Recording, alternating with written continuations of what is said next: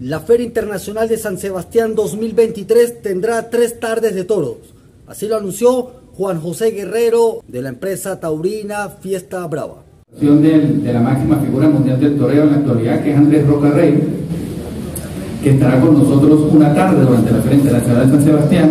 Está rompiendo todos los esquemas, es un torero que, que desde hace muchísimos años no había una revolución tan grande con él, quizás desde, desde los primeros las primeras temporadas de Ponce o aquella época de Joselito. La segunda contratación es un, torero ya conocido por la afición. Este año estuvo aquí con nosotros presente. Es Emilio de Busto, una figura del torero española.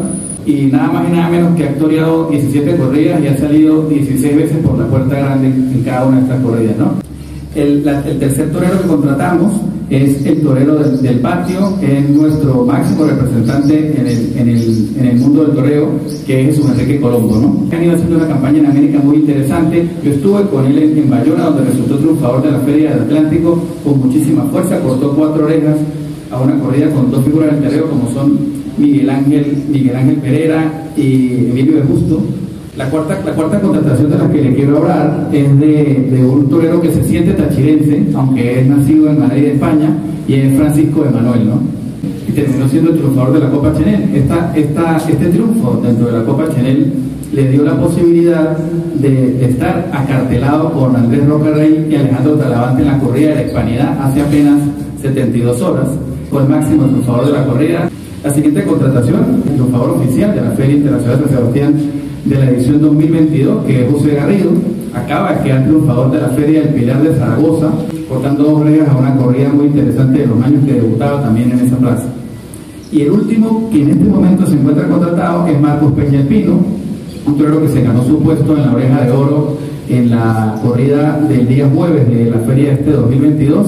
Resultó uno de los triunfadores de la feria de Tobar, un torero que la verdad queremos mucho, Obviamente, teniendo seis contrataciones para una única actuación, como es lógico, nos faltan contratos por cerrar, nos faltan toreros por ver, junto a la contratación de la ganadería de Rancho Grande y El Prado para una tarde durante la Feria Internacional de San Sebastián, para que demos apertura al labor y la gente ya pueda empezar a interesarse en adquirir sus puestos y su boletería. vamos a hacer el día miércoles 19, si no me equivoco, ¿sí?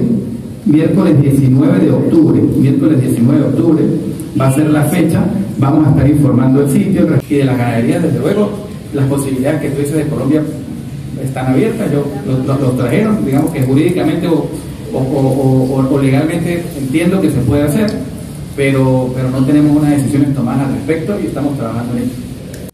Para mediados del mes de octubre empezará la venta de abonos por lo que Guerrero invitó a la colectividad y sobre todo a la afición taurómaca del estado Táchira a adquirir sus boletos para este periplo taurino san cristobalense.